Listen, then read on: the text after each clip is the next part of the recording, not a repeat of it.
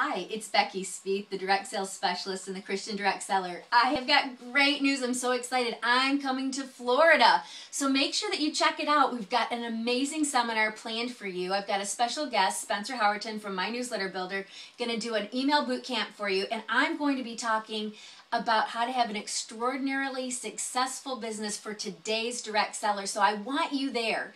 The, it's super affordable. Go back to the newsletter that I sent you and go all the way to, to the bottom, scroll all the way to the bottom, and you'll be able to find the link there to be able to register. Also, check out the Facebook fan pages because I've got links to it there, and I want to see you because this can be your very best year yet.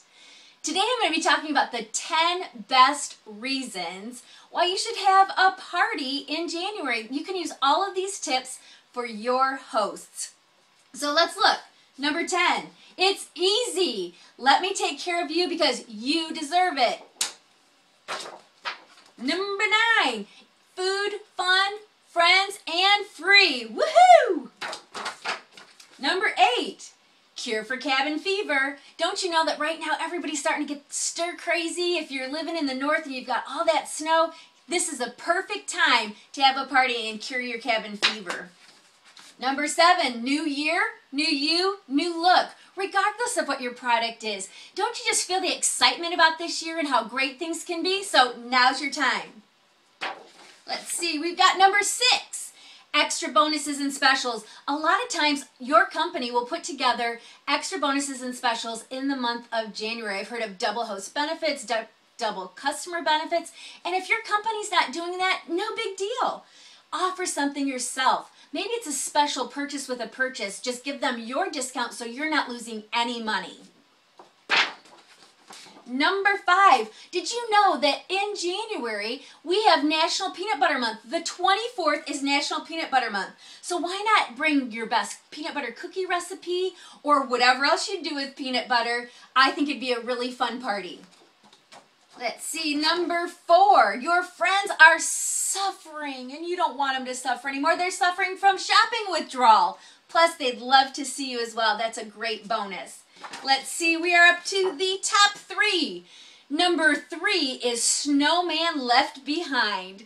This time of year, I'm sure that many of you, not me anymore, thank goodness, because we live in Texas instead of Michigan now, but it's snowman season and we don't want anybody left behind. I've got some great tips for this on, your, on my blog as well. BeckySpieth.com. Check out the blog. It's really amazing. A lot of fun tips there. Number two, do a dude party. Oh my gosh, this is one of my most favorite things to do. Get all the dudes together that you know that haven't already gone Valentine shopping. Yeah, I know it's hard to believe. We're in January and we're it's time to do Valentine shopping. It's exciting for you because you can get all the dudes together, do something special for them.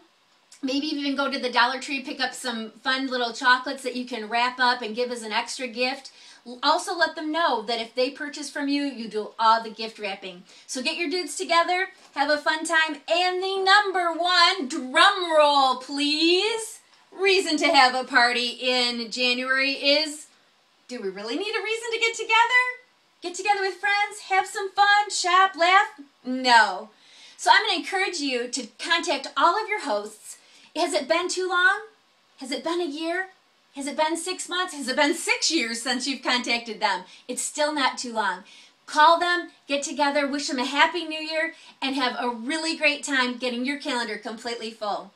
It's been awesome spending this morning with you. I'll see you next week. Take care and God bless you.